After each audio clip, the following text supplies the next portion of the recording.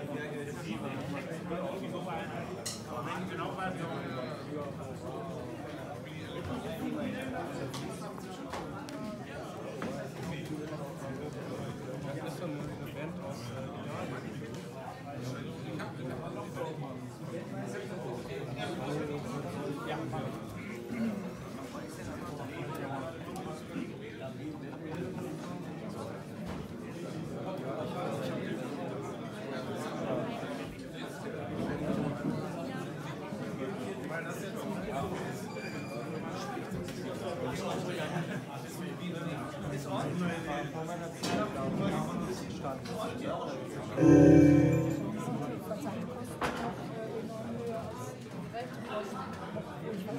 ja, ja, ja. Es war teuer. Das war toll.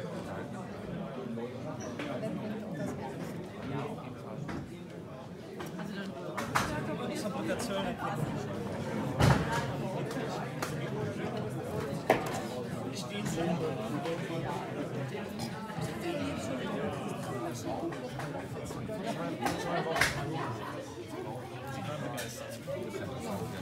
Ja.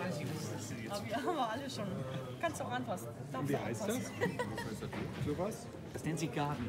Garten. Ja. Garten.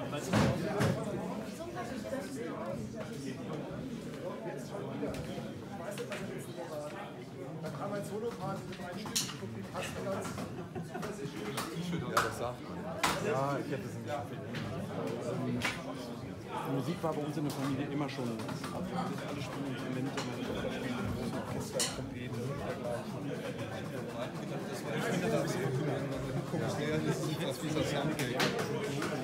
Wo meine Eltern haben damals ein Haus gebaut. Ich.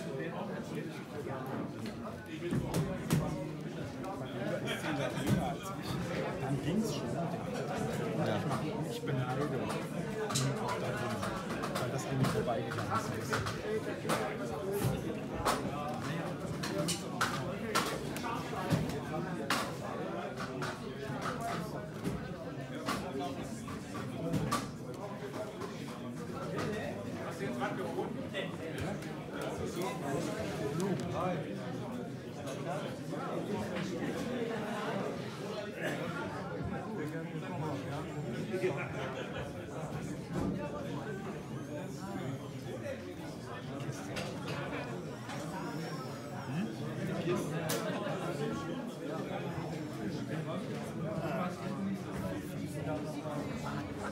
Ja, dann muss ich selbst sagen.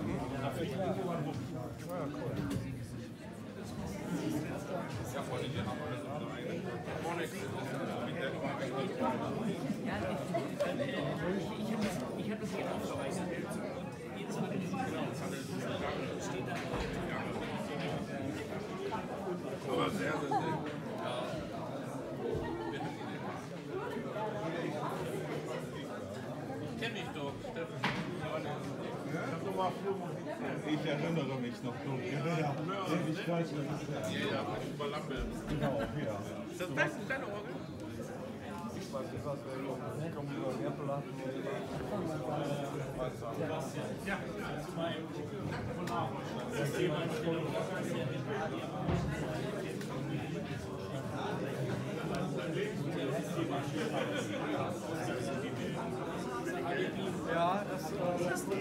Steffen, der Steven Pasing spielt ein äh, schönes Intermezzo hier an einem Sondertisch. Und wir dürfen gespannt sein und ich reich mal gerade das Mikro rüber. Dankeschön. Ein bitter Applaus. Ja, Dankeschön.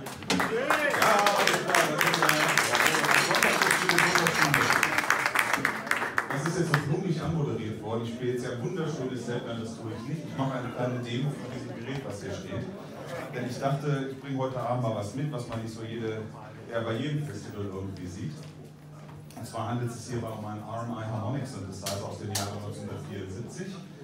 Und RMI steht im Gegensatz zu dem, was man so normalerweise hört, nicht für Rocky Mountain Instruments, sondern für Rocky Mount Instruments. Es handelt sich dabei um eine kleine Firma, die in Rocky Mount, North Carolina sitzt, als ja, professionelle Division der Alan Ogan Company.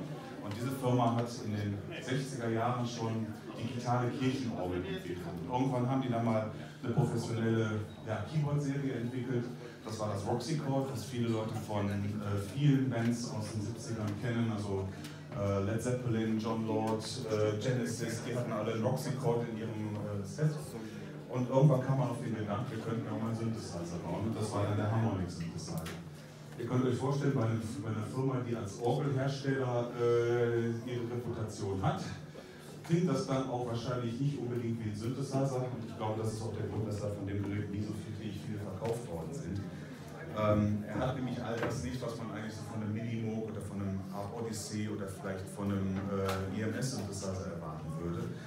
Ich zeige euch einfach mal so ein paar Sounds und ihr werdet bestimmt eine Ahnung bekommen, wo ihr den schon mal gehört habt. Kleiner Tipp, westliches Land von uns, äh, blau-weiß-rote Trikolore und ein Herr aus Paris, den kennt ihr alle, der atmet immer Sauerstoff. Ich zeige euch da mal was.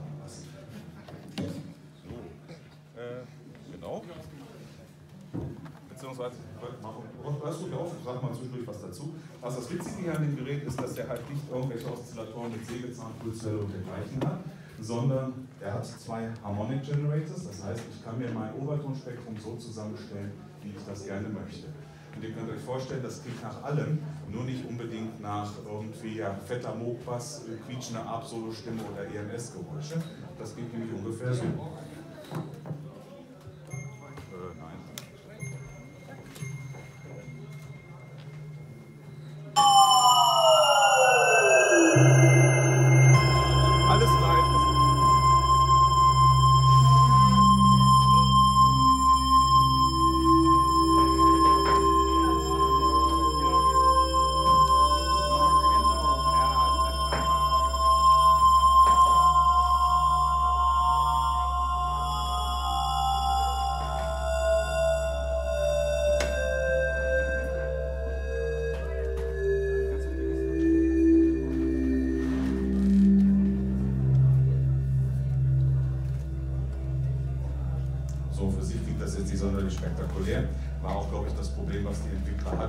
Es fehlt zum Beispiel etwas an Bord wie ein Ringmodulator. Wenn wir den dazu nehmen, klingt es gleich schon eine Ecke spannend.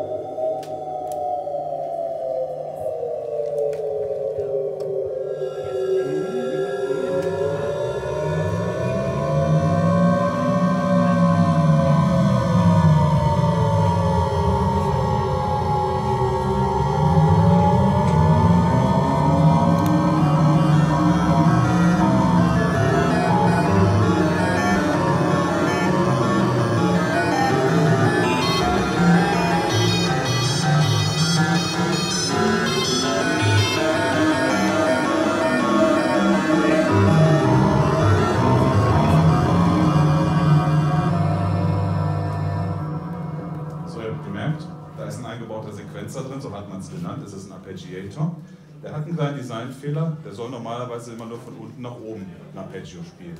Wenn man aber im falschen Augenblick den Knopf drückt, spielt er eine, äh, eine Zufallsmelodielinie. Das klingt dann ungefähr so. Moment, ich habe noch zwei Hände und eine brauche ich fürs Mikrofon. Oh.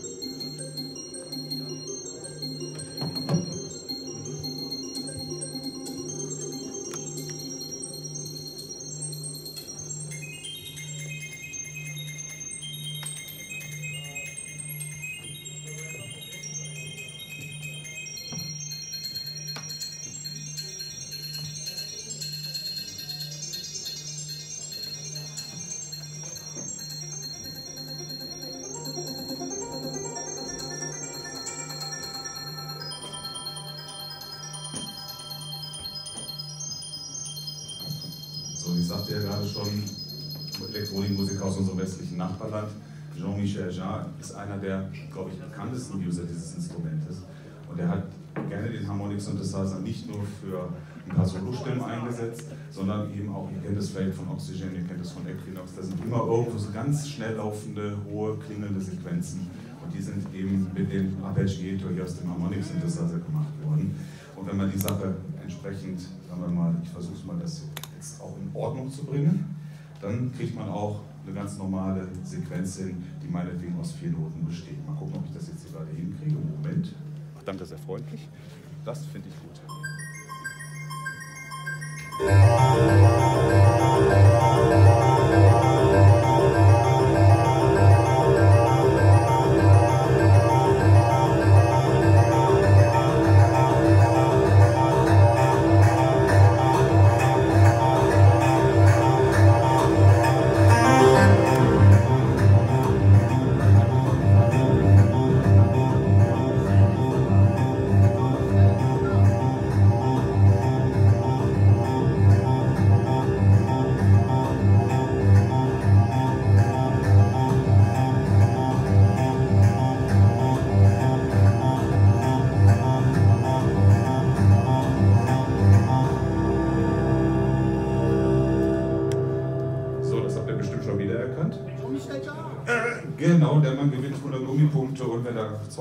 200 Gummipunkte zusammenkriegt, kriegt er sogar noch eine CD von mir. Das ist gesetzlich. So, also ihr kennt, ihr habt eine Ahnung davon bekommen, das kann man mit diesem Ding machen. Ich glaube, das dürfte auch das bekannteste Teil sein, was man mit dem äh, Harmonic machen kann.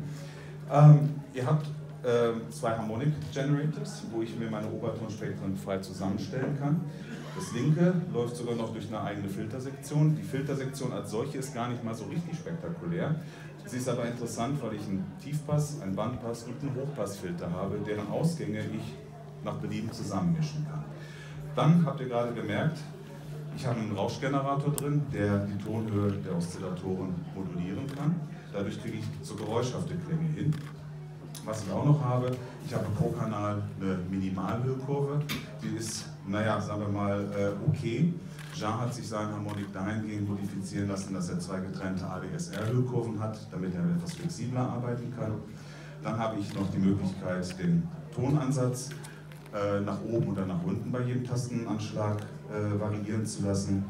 Und ich habe noch zwei einstellbare Portamentos, das heißt, jeder Generator kann mit einer eigenen Geschwindigkeit zum nächsten Ton leiten.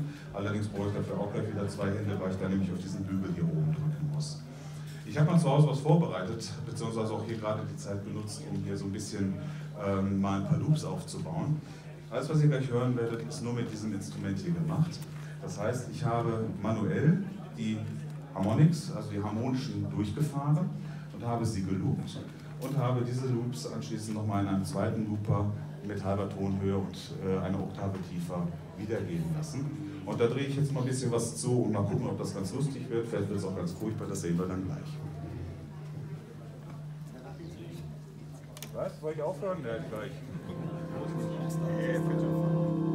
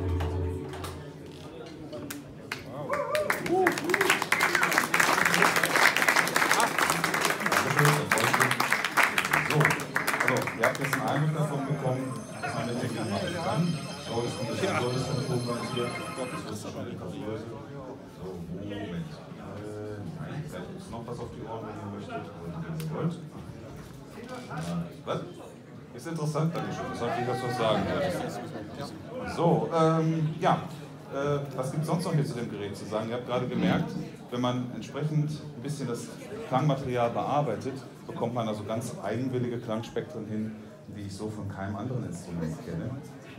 Und äh, ja, das Spezielle hier dran ist wirklich die Möglichkeit, sich seine Obertonspektren zusammenzustellen, wie man sie sich gerade vorstellt. Ich glaube, nur Physiker würden hingehen und sagen, ich mache jetzt genau so viel von der dritten oder vierten harmonischen. Äh, ich glaube, jeder andere, der dreht einfach so lange dran rum, bis es ihm gefällt. Ich versuche jetzt gerade noch mal eben hier einen einigermaßen... Moment, ich weiß nicht, ob ich nicht drücken muss. So, wo haben wir denn hier mal was? So, das ist zu kurz. Ja, das ist schon besser. So, dann gucken wir doch mal. Ich versuche jetzt nämlich gleich nochmal euch einen aufs Ohr zu geben. Und zwar habe ich mich mal herangetraut und habe mal was von Herrn Ja als Grundlage genommen. Ihr ahnt schon, was da jetzt gleich kommen mag. Versuchen wir mal, ob das klappt.